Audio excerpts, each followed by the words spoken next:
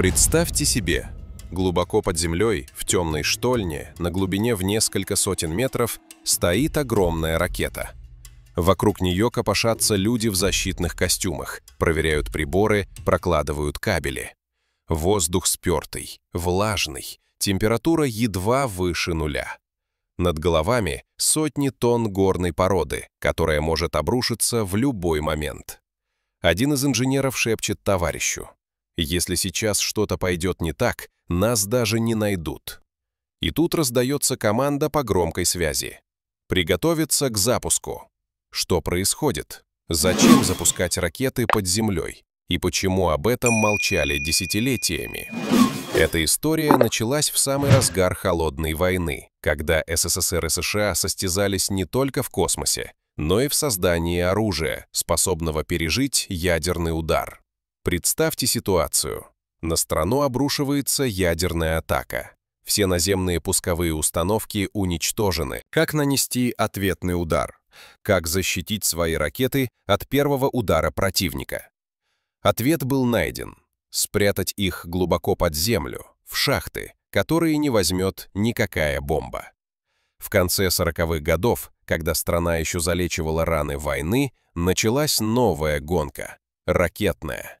Советские конструкторы понимали, что мало создать мощную ракету, нужно еще обеспечить ее защиту и надежный запуск в любых условиях. И тогда родилась идея подземных пусковых шахт. Но прежде чем строить их по всей стране, нужно было проверить, а сработает ли это вообще. Можно ли запустить многотонную ракету из-под земли? Выдержит ли конструкция шахты чудовищное давление раскаленных газов? Не обрушится ли все на головы людей? Урал стал идеальным местом для таких испытаний. Удаленный от границ, с многовековыми традициями горного дела, с готовой инфраструктурой заводов и рудников. Здесь умели работать под землей, здесь знали, как укреплять штольни, как бороться с обвалами. И самое главное, здесь было где развернуться. Бескрайние леса, горы, малонаселенные районы, где можно было построить секретный объект, о котором никто не узнает. Летом 1947 года в районе Златоуста началось строительство необычного завода. Официально он назывался заводом номер 66. Местные жители не знали, что там будут делать. Видели только, как завозят технику, как строят высокие заборы с колючей проволокой, как патрулируют территорию вооруженные охранники. Говорили, что строят оружейный завод. В принципе, не врали, только оружие это было особенным.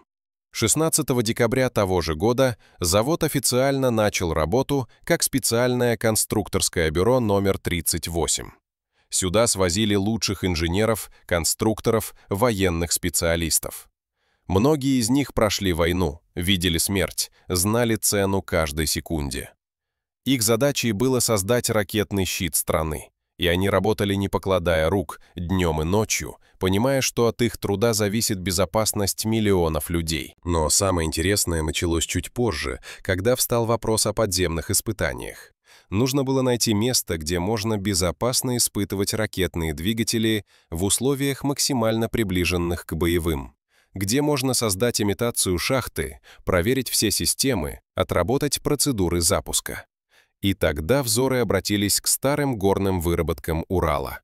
Представьте себе штольню, прорубленную в горе еще в XIX веке. Темная, холодная, с потеками воды на стенах. Здесь когда-то добывали железную руду. Здесь работали сотни людей, многие из которых нашли здесь свою смерть в обвалах и авариях.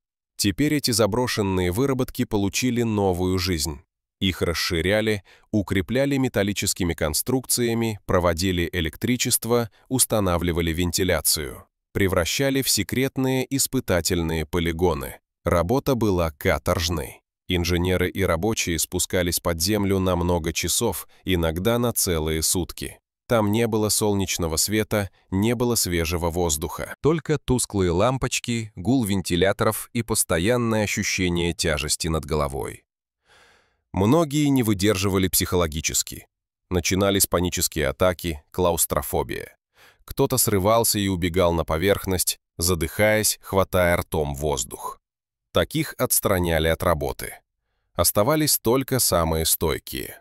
Что бы вы почувствовали, работая на глубине 300 метров, зная, что над вами сейчас будут испытывать ракетный двигатель? Что температура в камере сгорания достигнет 3000 градусов?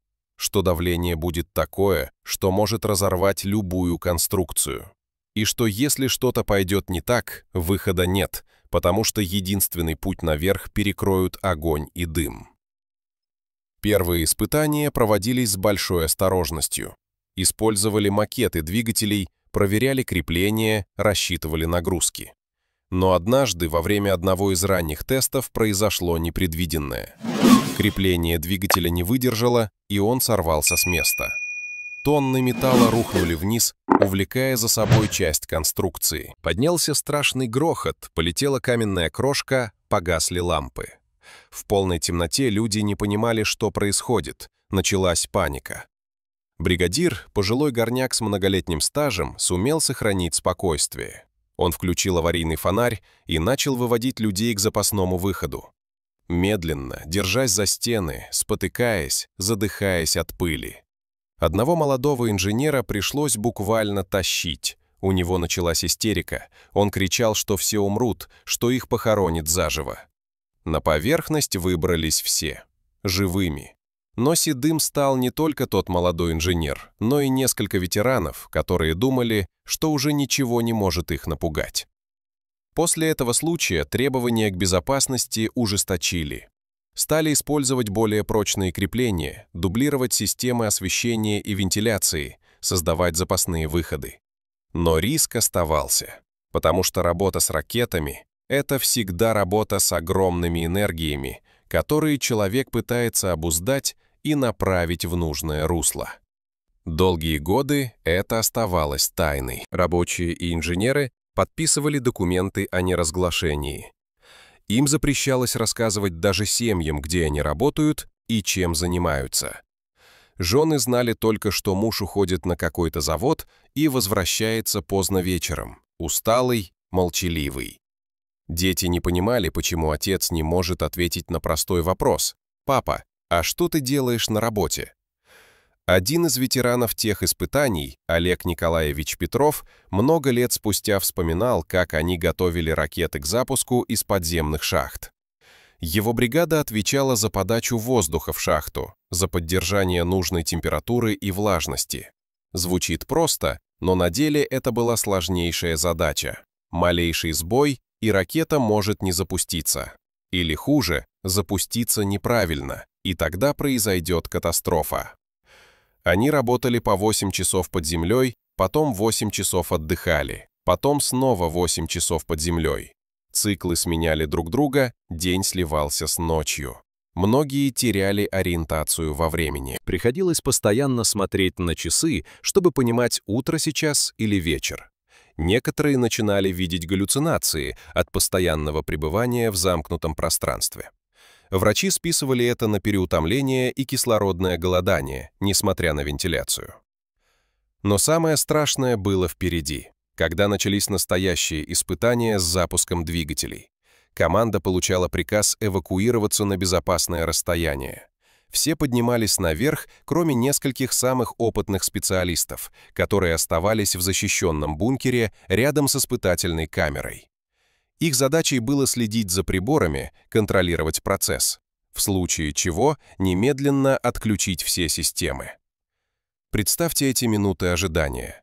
Обратный отсчет. 10, 9, 8. Сердце колотится так, что, кажется, сейчас выпрыгнет из груди семь, шесть, пять. Руки дрожат, пальцы судорожно сжимают ручки аварийного отключения. Четыре, три, два, один. Пуск. И тут начинается ад. Грохот такой силы, что закладывает туши, даже несмотря на защитные наушники. Вибрация, от которой дрожат стены бункера. Температура в помещении мгновенно подскакивает на десятки градусов. Приборы показывают запредельные значения. Через смотровое окно видно, как в испытательной камере бушует огненная буря. Языки пламени вырываются из сопла двигателя, отражаются от стен, превращая подземную штольню в подобие вулканического жерла. И в этот момент каждый специалист понимает, если сейчас что-то пойдет не так, если конструкция не выдержит, если произойдет взрыв, спасения нет. Они погибнут здесь, в этом подземном аду, и никто никогда не узнает правды. Потому что все это секретно потому что официально они работают на каком-то заводе, производящем что-то там. Однажды во время испытаний действительно произошел сбой. Система охлаждения не справилась с нагрузкой, температура в камере превысила критические значения. Начал плавиться металл крепежей.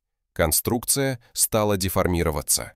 Если бы не быстрая реакция оператора, который немедленно нажал кнопку аварийного отключения, произошла бы катастрофа.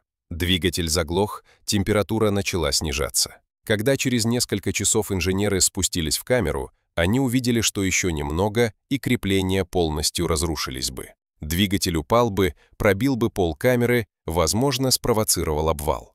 Эти события тщательно документировались, анализировались. На их основе вносились изменения в конструкцию, усиливались системы безопасности. Каждая ошибка, каждый сбой становились уроком потому что в реальных боевых условиях права на ошибку не будет. Ракета должна стартовать из шахты безотказно, с первого раза, независимо от погоды, температуры, любых внешних факторов. Параллельно с испытаниями двигателей шла другая, не менее важная работа – испытание кабельных систем. Ракета в шахте – это не просто железная труба с топливом.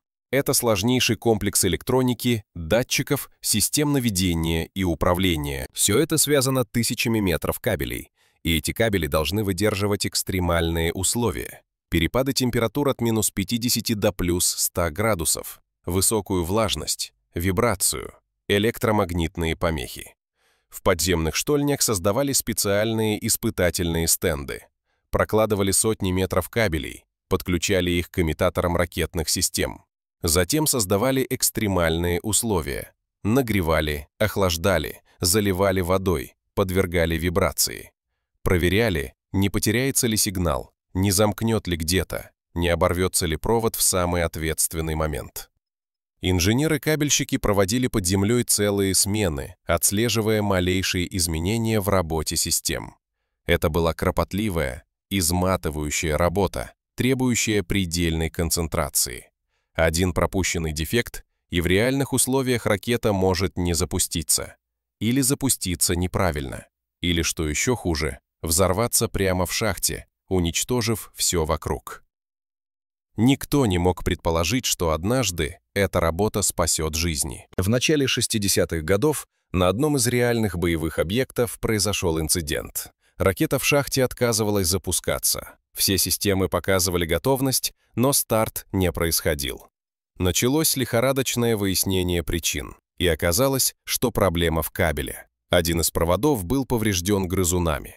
Мыши прогрызли изоляцию и устроили там гнездо. Благодаря опыту уральских испытаний инженеры быстро нашли проблему и устранили ее.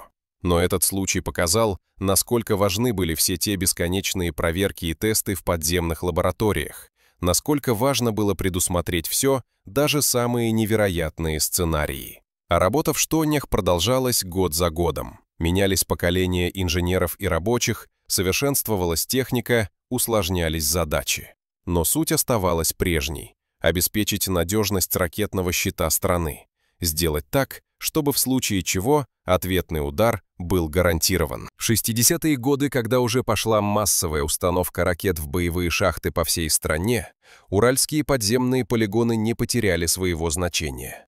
Наоборот, они стали еще важнее. Здесь испытывали новые поколения ракет, новые системы управления, новые материалы. Здесь обучали специалистов, которые потом разъезжались по секретным объектам от Плесецка до Байконура. Многие из тех, кто работал в уральских штольнях, потом участвовали и в космической программе, потому что технологии были схожими. Ракета есть ракета. Неважно, несет она боеголовку или спутник. Двигатели, система управления, кабели, электроника. Все это одинаково и для боевых ракет, и для космических носителей. Один из ветеранов вспоминал, как в 1961 году, сразу после полета Гагарина, к ним в штольню спустился высокий гость, сам Сергей Павлович Королев, главный конструктор. Он долго ходил по подземным галереям, осматривал испытательные стенды, расспрашивал инженеров о деталях их работы, а потом сказал, «Вы здесь делаете не менее важное дело, чем мы в космосе, потому что надежность — это основа всего. Без надежности нет ни оружия, ни космических побед». Эти слова запомнились навсегда — потому что они давали смысл всей этой тяжелой, опасной, неблагодарной работе в темных подземельях. Потому что они объясняли, зачем люди рисковали жизнями, проводили месяцы под землей, теряли здоровье. Они были частью большого дела, частью истории.